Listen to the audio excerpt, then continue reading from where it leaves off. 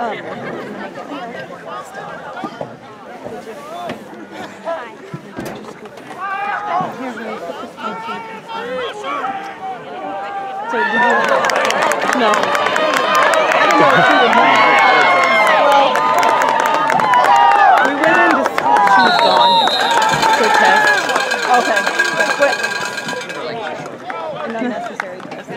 pass complete to number 38, Ryan Wegerer. Stepped oh out, I think.